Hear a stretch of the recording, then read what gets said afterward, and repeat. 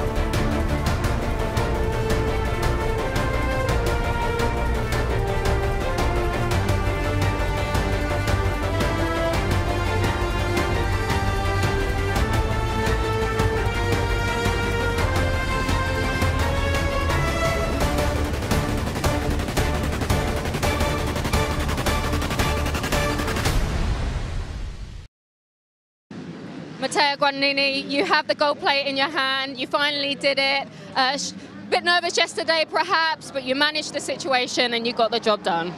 Sì, è stata una stagione quasi perfetta, ho fatto dei buoni risultati all'inizio stagione, poi ho cercato di stare un po' più calmo per mantenere il vantaggio, anche oggi. La prima manche ero un po' agitato, poi questa mi sono divertito un po' e, e niente, ce l'ho fatta e voglio ringraziare tutto, tutti quelli che mi, mi aiutano, mi danno una mano mio team, gli sponsor, i miei genitori, tutti gli amici e i fans che mi supportano da casa. Grazie mille a tutti.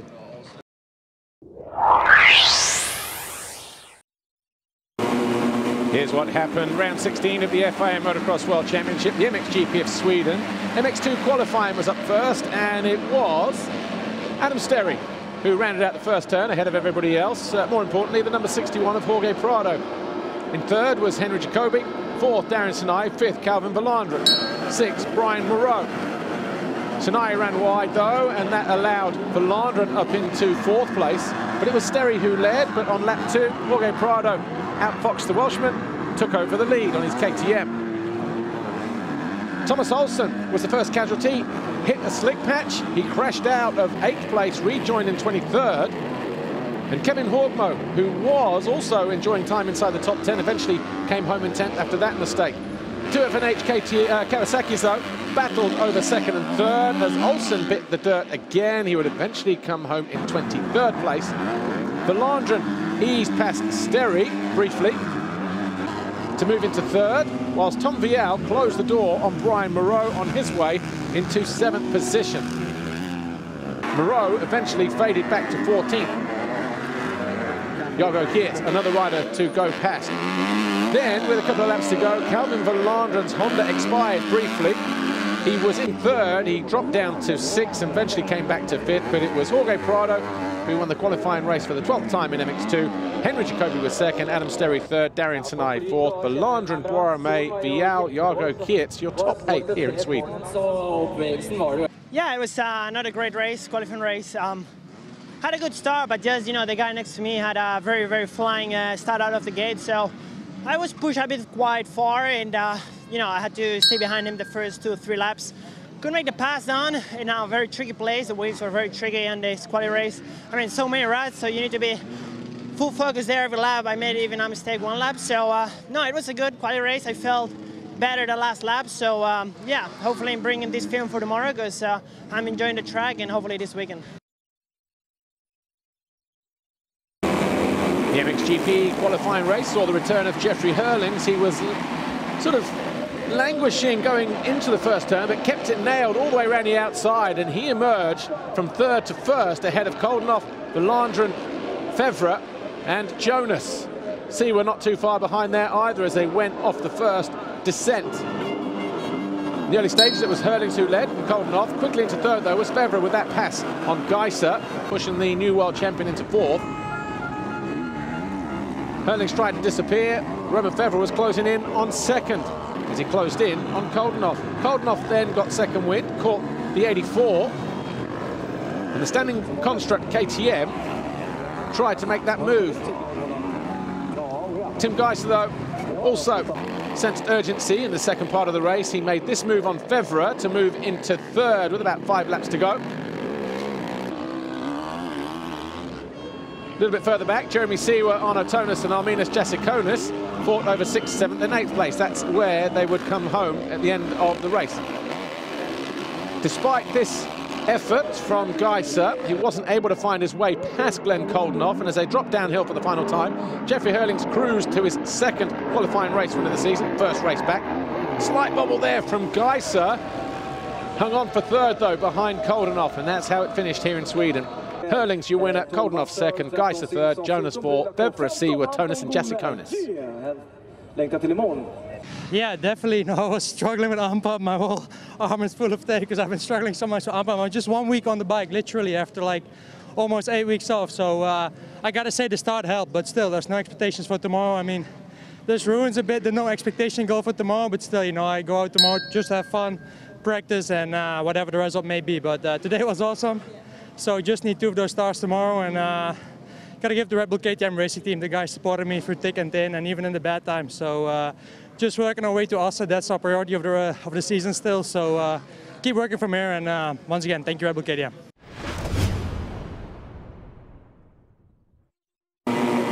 Here's what happened round 16 of the FIM Motocross World Championship, the MXGP of Sweden at Uddevalla. MX2 race one, and it was tied for the Foxhole shot, but it was Tom Vial for the sixth time, edging out his teammate Jorge Prado, but it was Prado who led by the time we reached turn two. Back in third was Henry Jacobi, fourth was Belandren, and Dylan Walsh on the Husqvarna was fifth, but the number 53 got back into fourth at the bottom of the next hill. It Wasn't long though before Belandren moved back past Walsh and into fourth position. And a couple of laps later, Adam Sterry on the Kawasaki, number 811, moved into fifth as he found his way past Walsh as well. Jago Kietz was circulating in 13th until this happened. He picked himself up in 17th and would eventually come home in 14th. Not a good start for Thomas Olsen. He eventually climbed his way up to 8th, but it was Jorge Prado who was victorious for the 27th time this season, and with it, he took the MX2 world title. Back-to-back -back wins now for the Spaniard.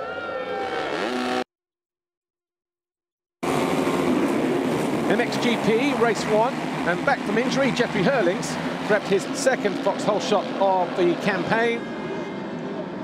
Behind him, Tim Geiser, Glenn Koldenhoff, Roman Fevre to the outside, Jeremy Seewer to the inside, but he caught Paul rear wheel and went down in turn two. the end of the first lap, the Swiss was in 17th. Tim Geiser fell from second whilst challenging Hurlings. He picked himself up in fourth. Just after the halfway mark, Koldenhoff found his way past Hurlings, and then the floodgates opened. Fevre, Geiser, Jonas all made their way through in quick succession. Before long, Hurlings was down in fifth.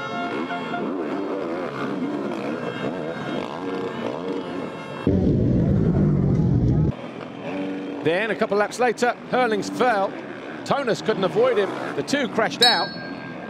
Hurlings retired with a bike issue. Arno Tonus eventually came home in 12th place, but Glenn Koldenoff took his third race win of the season from Febvre and Geiser. The next two, race two.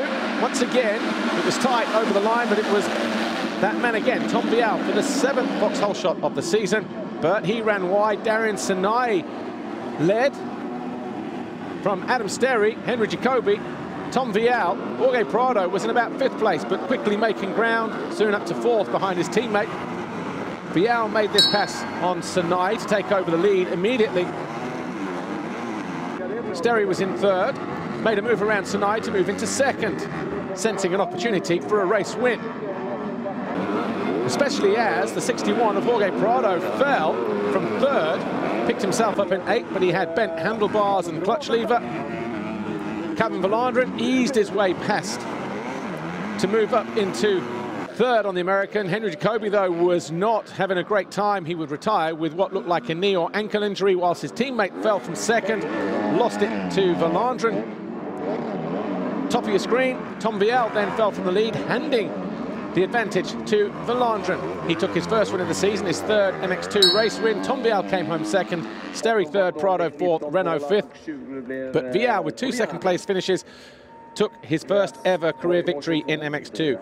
22 years and a week after his dad, Frederick, won his third and final Grand Prix in Belgium, 1997. Valandren second overall, Prado third, and Prado now leads the champion, oh, he's world champion, of course. Olsen second, Kietz third, Vialle now up to fourth.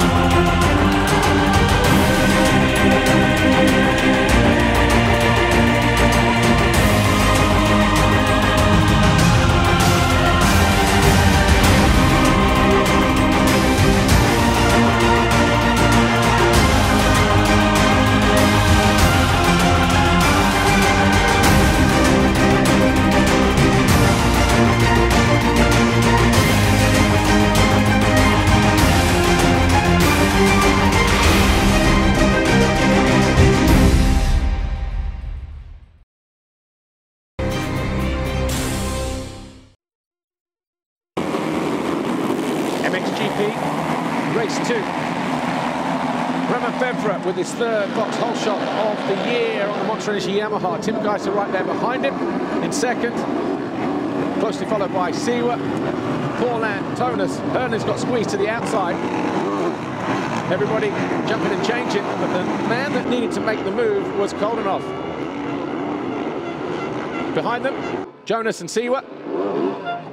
Koldenoff, though, quickly establishing himself like he did in race one. Found his way past Siwa to move up into fifth place. Gajser then took over the lead from Roman Febvre. And then Febvre crashed out. And he went down hard as well. He clutching his left femur. Not sure on the outcome of that at the moment, but the prognosis does not look good. Jeffrey Hurlings eventually carved his way to fourth with that move on Jeremy Siwa in the latter stages of the race. Glenn Koldenoff made a decisive pass on Paul Jonas to go into second, and that would determine the overall outcome of this Grand Prix. Tim Geiser took his 16th race win of the season from Koldenoff and Jonas. Herlings Siwa running out the top five. Koldenoff back-to-back -back wins now in the last two rounds with a, first and a second here this weekend. Gajser on the podium, second overall with a third and a win. Jonas on the podium for the second time this season. Geiser, Siwa, Paulin, the top three in the championship. Koldenoff now to fourth at the expense of Tonus who is now in fifth.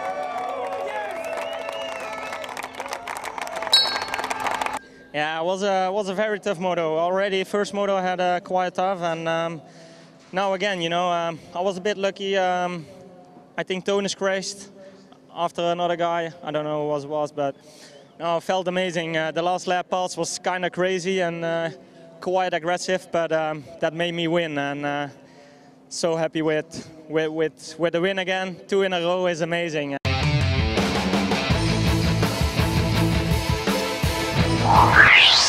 Amici appassionati, grande sorpresa, sono qui con eh, Alessio Chiodi. Ciao Alessio. Ciao. Ti chiamo Alessio perché oggi siamo al di fuori del, del mondiale, siamo qua appunto mentre stai facendo i test con il nuovo 125 Yamaha 2020 con Diego Saiani. Saluta un po' tutti gli amici appassionati. dai. Ciao ragazzi, e niente, sorpresa qui, qui a Odolo, vengo una volta ogni tanto a trovare mia mamma, infatti andato subito su a salutarla che non sapeva neanche che venivo, ho fatto la sorpresa, infatti mi ha tirato le orecchie subito.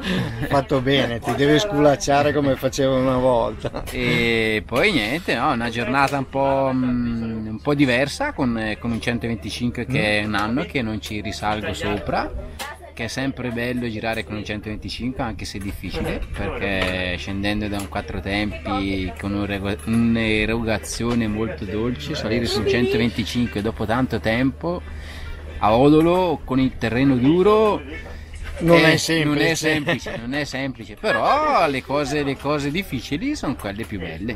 E sono quelle che ti riescono meglio perché ho visto delle traiettorie che fai solo tu e infatti parlavo con degli amici a bordo pista dico vabbè, Eh, beh, è dai. sempre uno spettacolo Eh, vedere quelle traiettorie il chicco mondiale. eh, traiettorie mi piacciono poi qui a Odolo soprattutto qui a Odolo diciamo che ho, ho girato tanto da piccolino e la pista è più o meno rimasta quasi sempre uguali però le, le traiettorie quelle diciamo un po' furbe possiamo dire Eh un sì, po' furbe, furbe. e un po' strane che anche tante volte glielo ho dette ai ragazzi miei mi hanno guardato come a dire ma, ma Com'è mi- possibile?" cosa mi stai dicendo? Eh, È una cosa un po' strana, però Odolo è particolare, è particolare e tocca conoscere. Eh, Odolo, pista cosiddetta tradizionale come con punti tecnici, sicuramente un buon parterre per i giovanissimi che vogliono imparare ad andare in moto, insomma. Sì, perché ora È selettiva. si lamentano tutti delle buche, anche oggi mi dicono, oh, ma quante buche ci sono? No, eh, buche, buche no, buche non ci Buche sono. non ci sono. Se facciamo un riferimento a, a quando ero piccolino io, le buche che ci sono adesso sono sassolini. E però contropendenze, curve abbastanza difficili, impegnative che vanno interpretate in maniera intelligente, intelligente diciamo, va- vanno pensate, vanno ragionate, non è tanto a gas Eh, aperto. C'è da fare un passo alla volta per questi giovani, invece vorrebbero fare tutto subito, pensano che c'è solo da dare gas, invece c'è un ragionamento dietro, un pensiero, una Il preparazione che è diversa. il ga- il gas arriva fino a un certo punto, adesso il gas è vero che quelli che camminano forte il gas lo danno, però eh, se te vedi eh, anche se le manche adesso sono un po' più corte di una volta, eh, danno tanto gas ma riflettono, pensano e va comunque ragionata la, la cosa perché in tante situazioni eh, Sì, spiacevoli, spiacevoli che sono successe, purtroppo lasciano, lasciano dell'amaro in bocca a tutti noi addetti ai lavori. Dispiace tantissimo, non è sempre facile trovare il perché, il per come e delle soluzioni per poter evitare determinati Una incidenti. soluzione secondo me tanto c'è eh, pensare un attimino, pensare un attimino che oggi secondo me un pochino si tralascia questo, Eh, cose che si prendono un pochino troppo così a- Alla leggera. leggera, dici beh vado in motocross, ho casco, stivali, pettorina, moto bella, moto performante, eh, va, e invece uno tralascia tante cose che, che La secondo me preparazione sicuramente è quella che fa la differenza, ma soprattutto per eh, quelli che iniziano, soprattutto i giovanissimi, quelli dei, dai 65 in poi, non di anni, di cilindrata ovviamente. Eh, ci arrivo casissimo. cioè dovrebbero affidarsi a degli istruttori eh, come te, anche perché hai iniziato a eh, portare un po', un po di, della tua esperienza, della tua grandissima esperienza dopo tre titoli mondiali appunto verso i giovanissimi.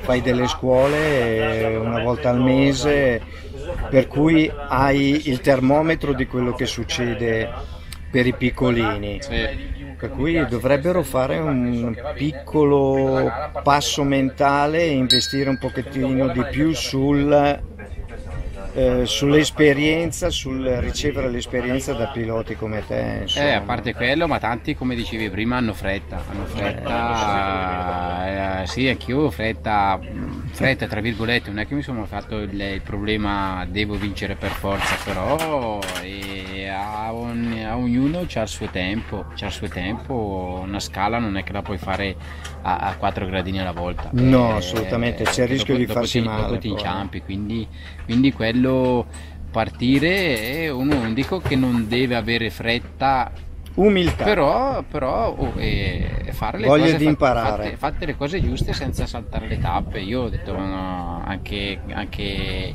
i primi anni e tornai indietro da, da, mondiale. Beh, feci le prime gare il mio primo, primo mondiale eh, 89 Faenza e dopo presi i miei primi quattro punti in Francia, sempre nell'89, per me era già un, un grandissimo traguardo. E da lì si decise di fare il mondiale nel 90 e visto che non era area ritornai indietro e, certo e, ma senza, e, senza, essere a disagio per e questo. quindi mi ha fatto, cioè, fatto, crescere più un anno indietro che stare lì un anno in più nel mondiale e quindi bruciare le tappe tante volte. Però Alessio erano tempi diversi non c'erano i social così invadenti sì. laddove eh, ci sono, ci sono piloti che pubblicano, che vincono eh, la coppettina eh, per aver fatto il settimo nella finale B, C, per l'amor del cielo non, sì, è, non è, una polemica per dare no. contro perché io so la fatica che si fa arrivare primo e ultimo, eh. per cui io rispetto forse più per gli ultimi che non per i primi che generalmente però quando sì. però sì insomma è oramai diventato un mondo così che quindi qualsiasi molte cosa... volte è virtuale sì sì eh, tante questo. volte il sì. motocross è, è, è diventato è più, virtuale è più, sì, è più virtuale che dopo alla fine Mari vai in giro per, per, le piste e queste qua non li vedi mai, eh, però di foto ne vedi tante. Ma sì, sì, no, infatti è vero, è vero. Quindi, vabbè. Eh. È così, insomma. Parliamo un pochettino anche del mondiale, dopo parliamo anche eh, su quello che hai intenzione di fare poi, se mi dai qualche notizia, su quello che vuoi fare entro la fine dell'anno e poi l'anno prossimo, anche perché vederti girare in pista per me è un onore, quando ci incontriamo è sempre un'emozione per me perché ho vissuto gli anni d'oro del motocross. Mm ti seguivo da tifoso, da tifoso appunto quando stravincevi in Italia, eh, in America, in America ovunque, ogni tanto mi riguardo appunto i tempi che, che furono e vedo un grande campione ma soprattutto un grande uomo, questo qua è un complimento Grazie. e ci tengo a fartelo, perché non tutti i grandi campioni sono dei veri uomini, punto. Parliamo del mondiale 2019, eh, partito alla grande per Tonino, un Jeffrey Erlings eh, che è rientrato bim bum bam, sembrava che dovesse uccidere il campionato, boom, due infortuni di colpo, uno dietro l'altro, tantissimi piloti che purtroppo hanno dovuto eh, lasciare le speranze di poter ben figurare o vincere il mondiale che cosa sta succedendo? Ma sai, come, come, come, come è diventato un campionato ora, e, e sono diventati tutti professionisti.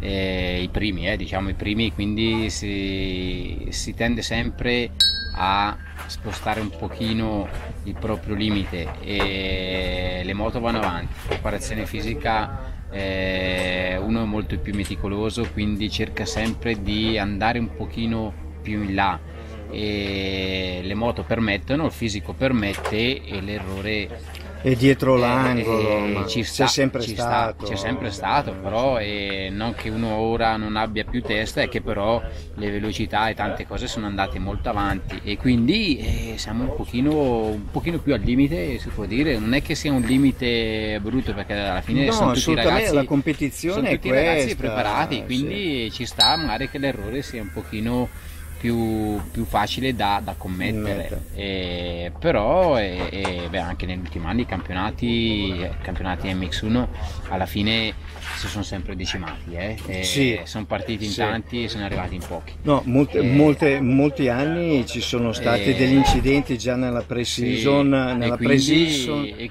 E, quindi quello, beh, Tonino ora è fa- facendosi male anche alla spalla, un pochino ha lasciato via libera a, a Geyser, che però ti dico sinceramente Ha eh, fatto un salto di fatto- qualità quest'anno, cioè ha L'anno ripreso a scorso andare... che, che aveva fatto l'infortunio a Mantova e secondo me ha fatto tutta la stagione diciamo un pochino tra le nuvole Eh, Sì, quest'anno, sì, sì. quest'anno si è messo secondo me maturato un po' nei suoi errori Ha trovato e- anche una stabilità Sì, personale, bravo, molte che- volte sì, è quella che più- fa la più differenza. concentrato, eh. più concentrato, meno al limite e, e difatti si è visto, ha cominciato a martellare e, e sta facendo secondo me Eh Honda lo gara. sta assistendo benissimo, a parte Beh, che eh. parlare di tutte le case a livello ufficiale come KTM, Husqvarna, Kawasaki, sono tutte a un livello stratosferico. Sì, sì. Dopo, beh, Cioè, per uscendo, cui le differenze uscendo sono- lui ora, eh, beh, dopo si è fatto male ai Febbre, ora sta Eh, ritornando sì. anche lui, anche Febbre sta andando molto forte, cioè, insomma è un,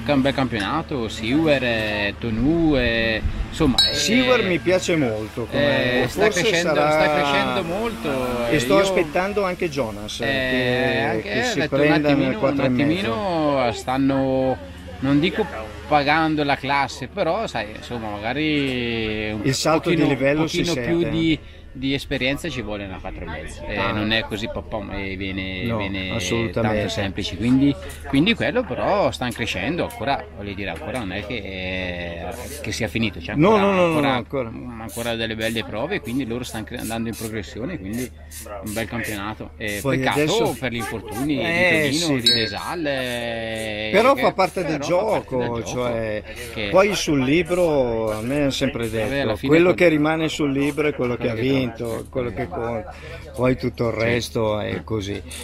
Eh, vediamo anche nelle ultime gare che molti piloti stanno dando a tutta anche per il rinnovo Per dei rinnovo, contratti, beh, sempre, per i sempre, cambi di sempre, casacca. sempre stato in questa maniera, eh, sempre stato in una maniera, nel cross, fine nella velocità, in tutti gli La sport. pressione, la pressione oramai è scaricata perché uno non ha più bisogno di far vedere dall'anno prima, quindi uno parte in relax, cioè relax dice, eh, e dopo a fine dell'anno uno si diciamo eh, non ha più la pressione del risultato e però prende un attimino la convinzione Eh, del risultato che lo deve fare, quindi è una mente un po' strana, Sì, mente sì, po' strana, sì. quindi- però è così E funziona. l'ambiente, l'ambiente nostro eh, di sano Cioè, c'è il grande cuore sì, che abbiamo quello- quello perché ci dicono che siamo brutti, sporchi e cattivi ma non è vero.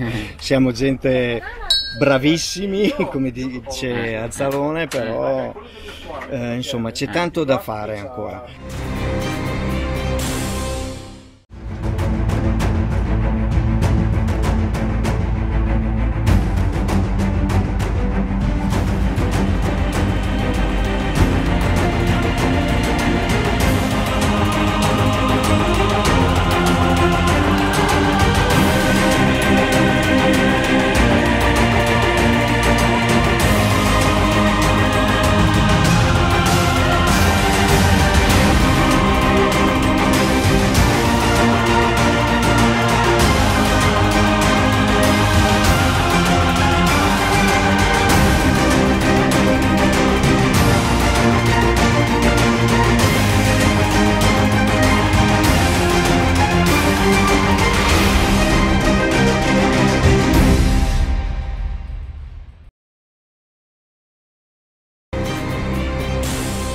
Parliamo un pochettino delle piste, c'è qualche cosa che si può fare in più per la sicurezza? Parlavo con Tonino durante Supercross, eh, la Supercross Cup eh, che si è svolta a Brescia con i fratelli Pellegrini. Ho avuto modo di fare due chiacchiere con lui in modo anche informale e mi dice appunto sulle piste gli incidenti fanno parte del gioco anche il pilota professionista dice purtroppo è così bisogna stare lontano il più possibile ma il livello è talmente alto.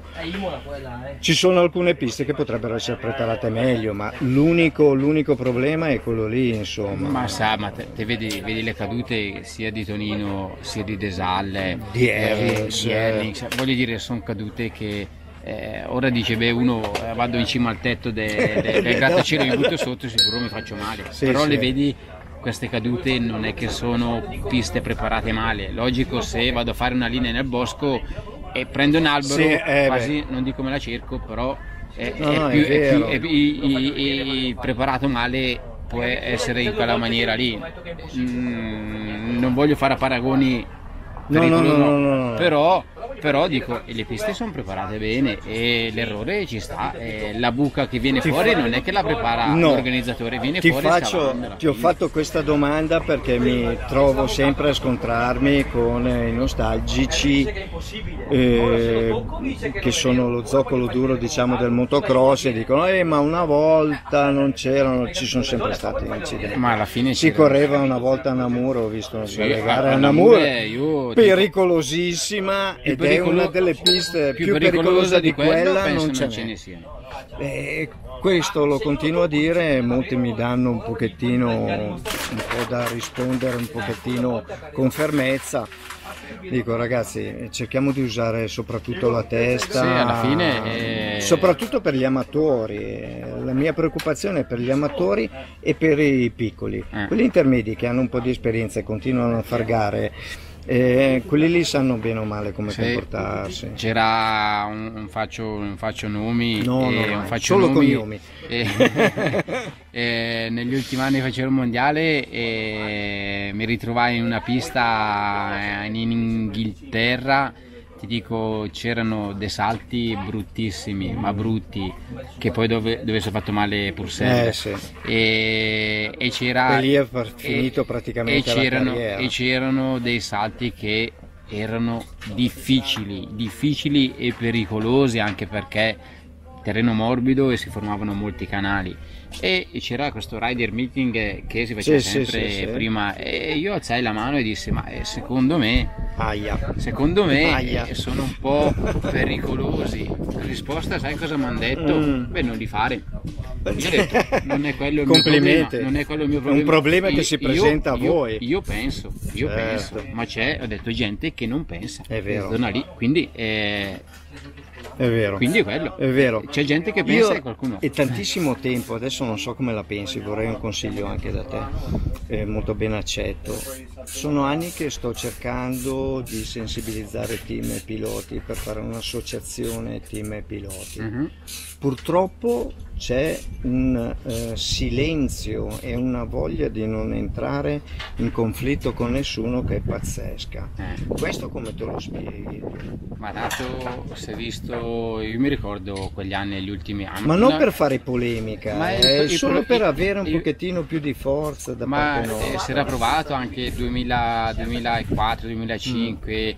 Everts, c'era io, sì, Everts, sì, Smets. Sì, e ti dico siamo arrivati al punto a dire non corriamo ci hanno risposto non c'è problema ne prendiamo un altro sì, sì, il cancello lo si riempie ugualmente Va bene, non vorrei spingere su questo acceleratore quindi, per evitare quindi, di quindi, non riuscire più a entrare alle gare. L'associazione pilota, sì, è a Piloti certo e team, sì, è... Eh, anche le case sono sorde. Ho provato a parlare un po' con tutti, non mollo, ma è solamente per far sì che l'ambiente cresca ancora un pochettino, perché come dicevi tu siamo esseri pensanti, possiamo alzare la manina e dire questa cosa qua è possibile rivederla? Porca miseria, cioè, sembra... Eh, ne avrei tante di dire, ma... Lascia, anch'io, lascia, anch'io. Lasciamo, Ce le raccontiamo dopo in privato, sì, con vai. tranquillità.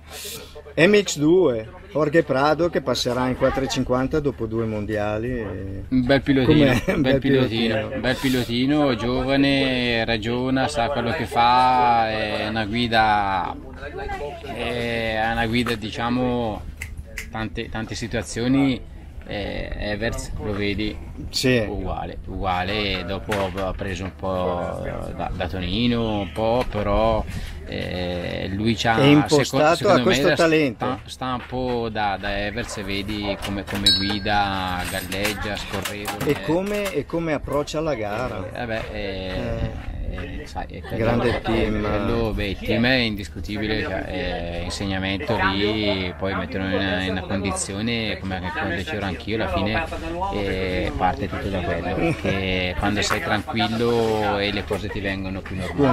Ma se ti vengono talmente semplici che quando non ti vengono più dici come cavoli, l'altra volta non ho faticato, adesso ho sputato sangue per Sì, sì, arrivare dietro. Sì. E questa qua è la pressione che Eh, sì.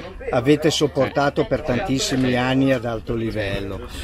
Parliamo un pochettino dei piloti italiani, soprattutto di quelli che stanno crescendo. Mattia Guadagnini come lo vedi? Mattia dico lì vicino, vicino a casa lo vedo, lo vedo pochissimo, però lo vedo molto ne- ne- nelle gare, nei risultati, cosa fa. E secondo me lui è uno con, eh, con le caratteristiche giuste. E- In un team giusto, Beh, il team è giusto, tanto eh, alla fine è con fondamentale. Corrado. E- però, però lo vedo che alla fine non è che, che sia quello, quello che, che ostenta tanto. cioè, eh, quindi secondo me boh, potrebbe eh, essere- va potrebbe bene, non essere. eh, spendiamo altre parole per scaramanzia, andiamo avanti. Parliamo della scuola che fai praticamente una volta al mese eh, dalle tue parti, fai la settimana intera e poi fai delle giornate particolari. Eh, tutto questo viene gestito dalla grande Federica. Sì, mi dà, mi, dà una, mi dà una mano più che altro nella parte qui nord, Sì, eh, che certo. ho detto qua su alla fine conosco poco, conosco poco. Il gruppo di ragazzi me l'ha creato lei e io gestisco la mia parte laggiù e lei mi organizza la parte qua su e, e niente, sì. Che piacere hai nel- nell'insegnare dei giovanissimi e soprattutto tantissime ragazze Eh, sai, quello è, molto brave anche. mh, penso sia la cosa al di là del risultato lo vedo quando, quando gli dici certe cose e cioè che partono sbagliati e dopo gliele corregge e te le fanno Eh, sì. è bello, È è bello. perché dici cavoli e vedi cioè, riesci a trasmettere quello che ti piace a un'altra persona e lo fanno e dopo, e dopo magari dicono anche è che avevi ragione Eh, sì. E- e- Io ma- facevo ma mica- sempre così e invece... ma, ma mica adesso- perché devono dar ragione a me, glielo dico sempre, ho detto ragazzi sbaglio anch'io, eh, Il però, però ho detto, io, a parte io insegno quello che ho imparato io e come guido io, e, e però... Sì, eh, allora vengo eh, anch'io da te che così magari riesco a fare un salto di livello. Magari organizzeremo qualcosa Mm. da te. Mhm.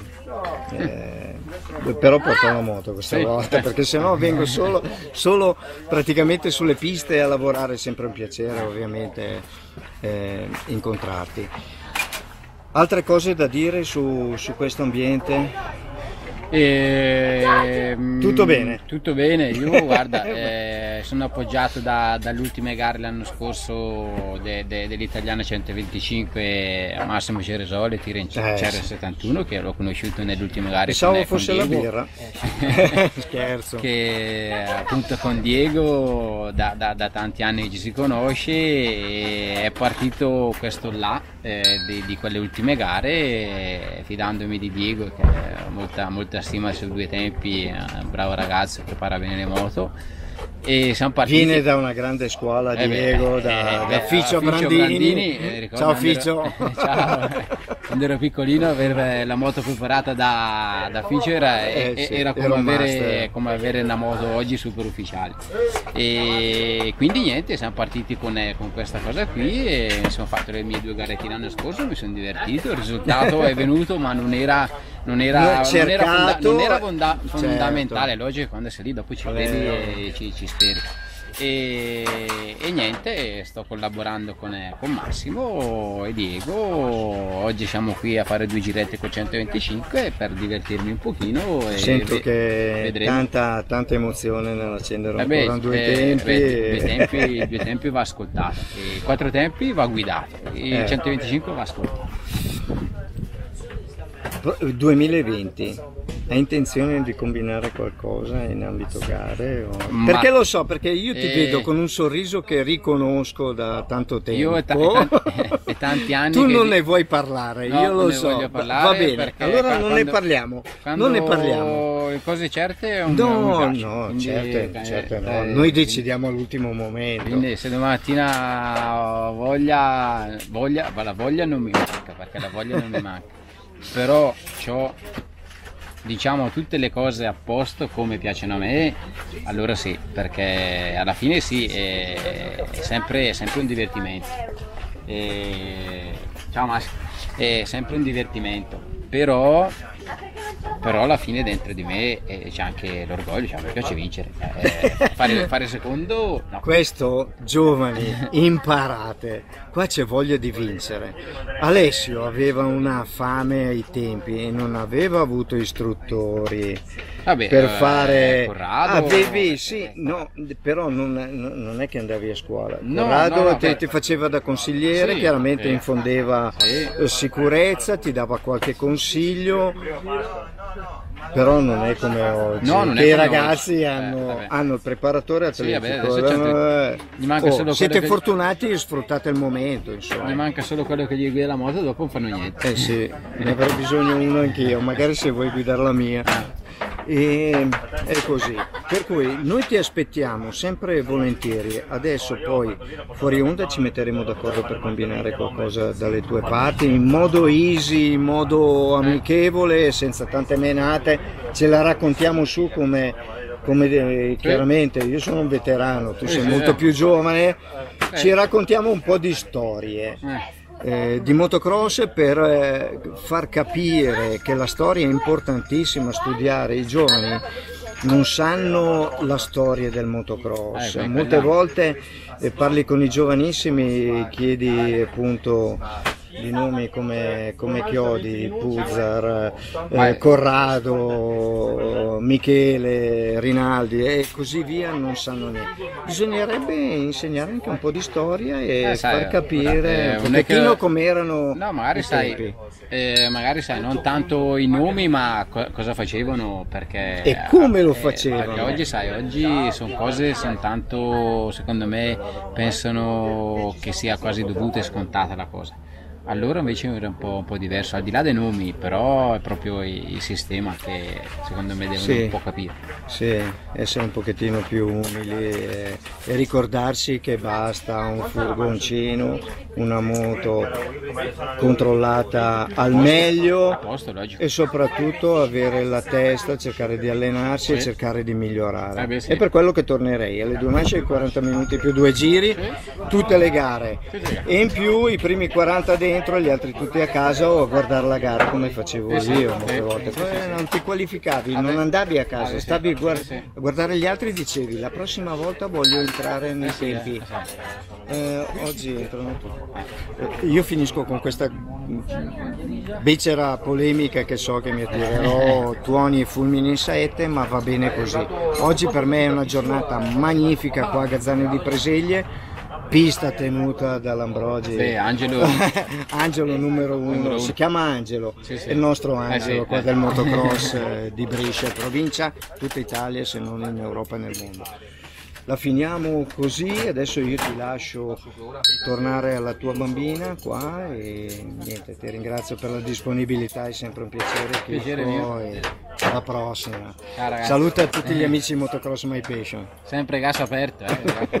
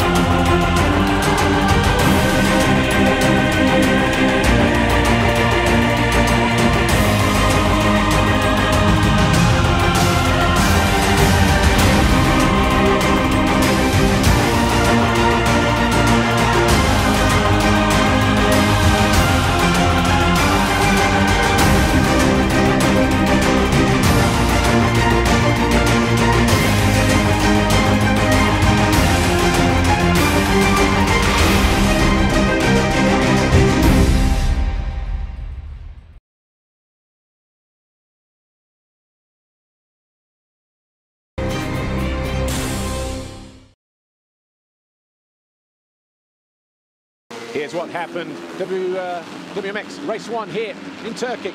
Duncan up the inside, but it was Larissa Papameyer, Lena Dam, and Nancy van der Ven that emerged through the middle of the first turn. But by the time they got to turn two, four riders scrapping over the lead. Duncan went from third to first, made a mistake on the exit. The two Yamahas capitalized, but it was Papameyer who led the way. Van der Ven quickly in a second. Anderson was in fourth, but it wasn't long before she found her way past the 151 and into third getting a little bit tight and congested in there on the opening few corners. Duncan, perhaps expectedly, riding a little bit cautious. Didn't want to make any mistakes on the opening lap, but Papameyer and uh, Anderson fought over second place, but then Anderson snuck up the inside of the German and went after the 85 of Van der Ven, who was leading the way. Duncan up the inside of Papameyer for third, and then she started to close in on Anderson and Van der Ven, and it was the Dane who finally got alongside for the second time, the number 85 of Van der Ven to take over the lead. Then Duncan, same part of the racetrack, different line, found her way into second with that pass on Van der Ven. It was a little bit sketchy at the end of the straight there, but she managed to get it done. Then Papameyer fell from fourth. She eventually came home in eighth place. This was the pass for the lead. Took a couple of corners to work it out, though. Duncan tried to go up the inside of Anderson, Eventually, she made the move stick. Verstappen had a steady ride on the Yamaha.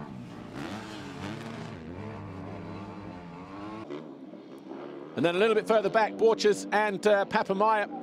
Papameyer trying to work her way back through after that fall in this corner, whilst in fourth place. But the focus was all on the 151. Courtney Duncan rounded out the final turn to be crowned FIM World Champion 2019.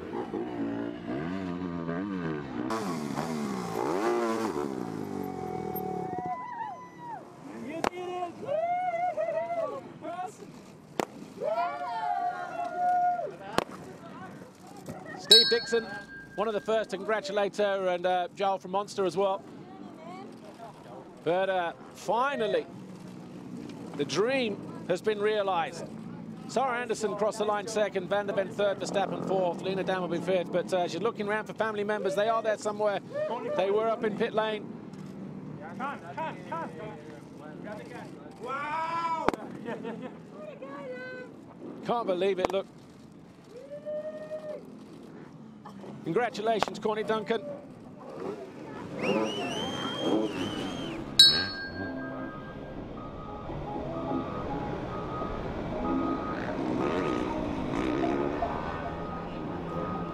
Courtney Duncan, massive congratulations. Finally, your dreams have come true. You're the 2019 Women's Motocross World Champion. Tell us how you're feeling right now. And I'm lost for words. Just, it's indescribable. Like to, I come out and I won my first race, and man, I expected to big things out of myself and and everyone around me also. And I just had, I just had to take my time and and learn from all these mistakes and failures. And when we felt like quitting, we kept going, and here we are, world champion. You made it happen. Congratulations.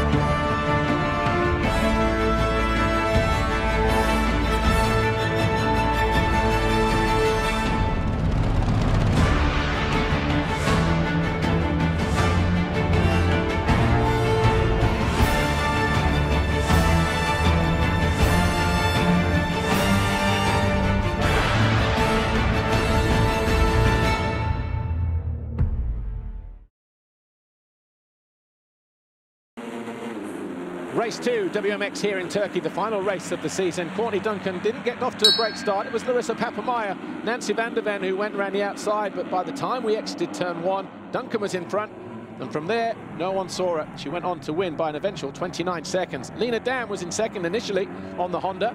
Papameyer had the advantage over the girl she was fighting for third in the championship, but then Papameyer went wide, Van der Ven went to the inside and took over third place.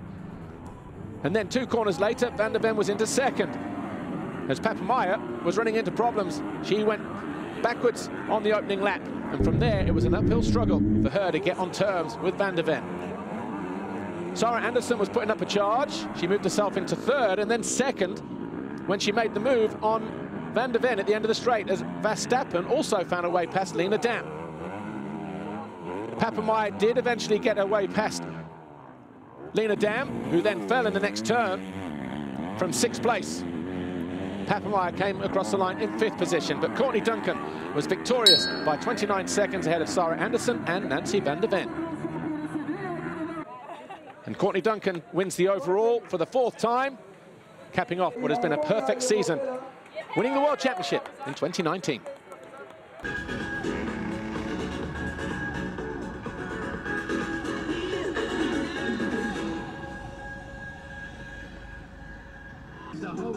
Courtney Duncan, massive congratulations. You're already our 2019 Women's Motocross World Champion, but you finished the season in perfect style with another overall victory.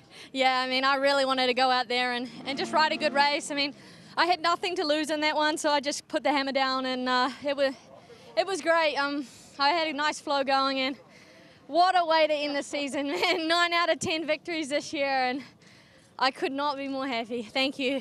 Massive congratulations. Thanks, Courtney.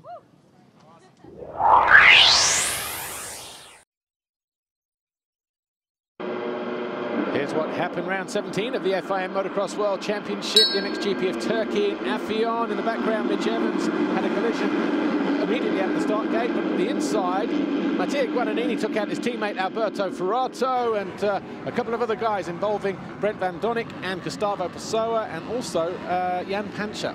Up front, though, it was the 61 of Jorge Prado who led from his teammate, but Vial was caught and passed immediately by the wild card of uh, Rowan van Moosdijk as Darren Sinai fell from 13th on the opening lap. Captain Valandren nudged aside the 8.11 of Adam Sterry to move into sixth place around about lap four. And then Vial fell from third. He remounted in fifth place after Maxime Renault and Jago Geerts went through. He then lost a position to Calvin Valandren. As the HRC rider came through, he stayed there for another few laps. Ferrato was charging his way through the field. Eventually, he came home in 16th. Sinai pulled out, having tried to ride with what looked like a damaged ankle. In second, though, on his second MX2 wildcard appearance, Rowan van for FNH Kawasaki was cruising in second position. Third and fourth, though, was hotly contested between Maxime Renault and Yago Geert. For Yamaha SM Action MC Miliori and Monster Energy, Khmer Yamaha. But up front, it was Jorge Prado who crossed the line for his 13th qualifying race win of the season. Van der Moosdijk was second, Renault third, Geerts fourth, Bial fifth, Balandren, Sterry, and Boirame, your top eight. Yeah, exactly. I, I was enjoying a lot riding. Track, it's uh, it's good this year. It's better than last year. I'm enjoying a bit more, and uh, it's not so warm, so you know you you really can enjoy and have fun riding. So it was a good moto. Got a good start from the outside and uh, led good. So no, feeling good for tomorrow. In the MXGP qualifying race, Tim Geiser, centre of the box, just edged across everybody else as he emerged one as the leader. By the time we got to turn two, Koldenoff was in second, C were third, Hurling's fourth, but around the outside, Alessandro Lupino briefly found his way past the Dutchman. Top left of your screen, Simpson went down, picked himself up, damaged handlebars, he will go to the line 27th. Gauthier Paulin was fighting through traffic, found his way past Lupino, and then a couple of corners later, the number four of his teammate, Arna to move into sixth on the opening lap or two. And then Tonus started to fade backwards for whatever reason, unbeknown to us, but Lapino and Van Horbeek both went through. Tonus eventually came home in 15th.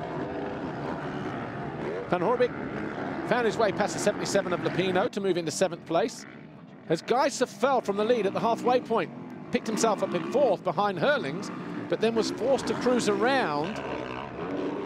As he came over the line late on in the race, he looked like he was holding uh, his neck or his shoulder, so hopefully nothing too serious for him.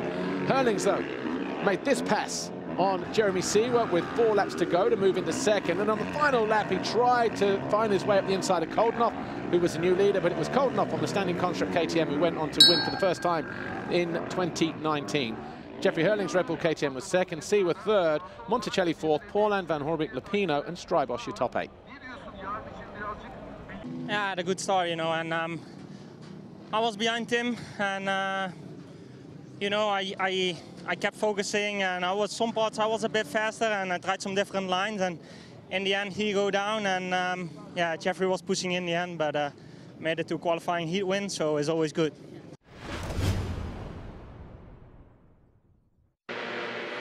Round 17 of the FIA Motocross World Championship, MX2 Race 1, the MXGP of Turkey at Afyon. Jorge Prado rounded out turn one to collect his 21st Fox shot of the season, closely followed by the 959 on the Yamaha of Maxime Renaux and Jago Geerts. Geerts capitalised on a mistake from Vial on the exit of the turn on the KTM.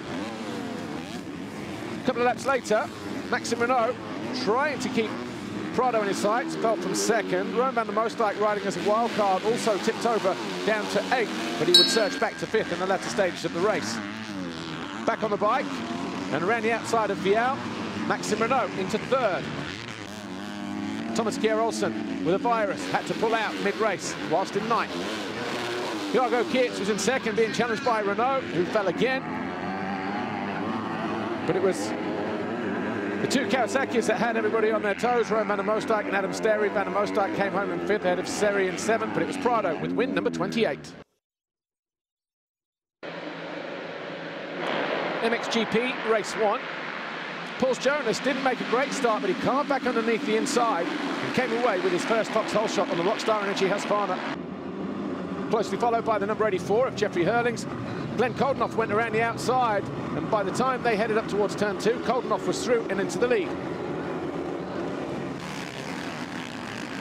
Hurlings quickly capitalised as well. But it was number 84 of Hurlings, who found his way past Jonas on the opening lap. Tim Geiser fell from fourth to 14th. He picked himself up and rejoined the race as Hurlings threw away a three-second advantage towards the end of the race. Pauls Jonas wasn't quite close enough to capitalise, though. Last lap, Tim Geiser uh, made this pass on Arno Tonus for sixth place, but it was Hurlings who was victorious in race one from Jonas, Koldenoff, Seewer and Paulan.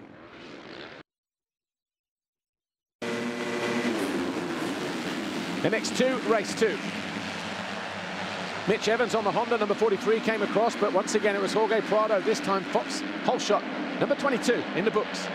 Jago Geerts was right there in second, Tom Vial third, and those two fighting for third overall in the championship, don't forget. Mitch Evans came out of the first couple of corners in fourth place. And just behind him, Maxime Renaux and Rowan van der on the number 39. Maxime Renault was on a charge, though, as Matthijs Broermee fell to 13th on the opening lap. He would eventually come home in 11th. Van der Moosdijk surged up the inside of Renault to get himself into third. And then he ran off the track. Did uh, Maxime Renault trying to retaliate. It was a good, strong ride for the European 250 champion. That pass on Jago Geerts got him up into uh, third position. The two Yamahas battled, Renault winning that battle to come out in fourth ahead of Jago Geerts, who dropped to fifth briefly and then sixth. But it was Prado with win number 29. Vial came home second, Van der third, Renault and Geerts your top five. The overall, though, belonged to uh, Jorge Prado. Two wins out of two, his 30th career victory. Jago Geerts on the podium with a second and a fifth. Van der Moosdijk on his first ever MX2 podium with a fifth and a third. And the fight for third in the championship, Yago Geerts third, Vial just 10 points behind in fourth with one round to go in Shanghai, China. But this weekend, once again, all about Jorge Prado, his 30th Grand Prix victory. Well, next year will be a big step going to the 450 class, to the main class. So uh, no, we are taking it race by race, uh, improving because it's uh, still a long way ahead. So uh, it's taking it as a training, but at the same time, uh, I love uh, winning GPs if I can. So I will do my best to keep to keep winning if it's possible, and hopefully next weekend we can we can do the same because I'm enjoying it a lot. MXGP race two. Gate number three over on the right-hand side. Jeremy Seewer cut to the inside of Hurlings as he tried to take Gajser wide, and he managed to steal his fourth Vauxhall shot of the year. But he went back pretty quickly. Koldenoff took over the lead on the exit of the turn. Everybody else jostled for position Hurlings into second with that move on Seaward. Seaward then made a mistake, got caught in a battle with Jonas. Jonas wasn't given an inch, and Seaward was upside down. Geiser also fell, whilst in third, he would pick himself up and eventually get back to third after dropping down as far as fifth. Paul Jonas carved his way through fields to make his way into fifth position. That move on Brian Bogus.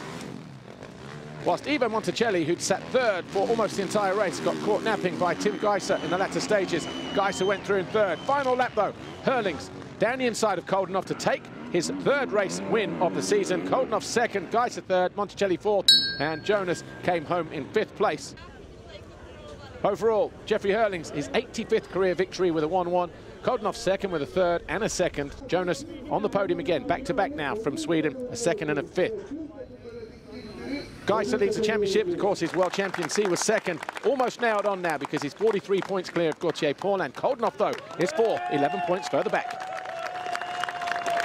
you know, it was getting better and better. You know, in Sweden, I think it was my sixth day on the bike, and we actually decided on Thursday evening we we were going to go on Thursday or something. So uh, wasn't prepared at all, and then uh, just came too quick to lead the races by then. But now uh, we're another two weeks in, like three or four weeks on the bike now, and uh, it's amazing what I could do in such a short time. Obviously, I know some of the top guys are injured, but still a GP win is a GP win, and it's never easy. You know, the, those guys are fast.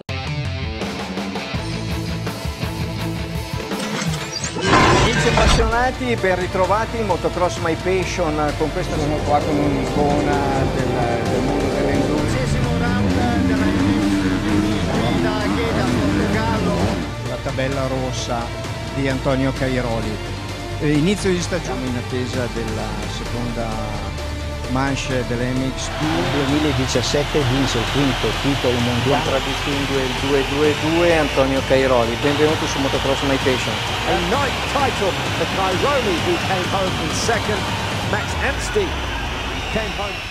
E vi ricordo Motocross My Passion c'è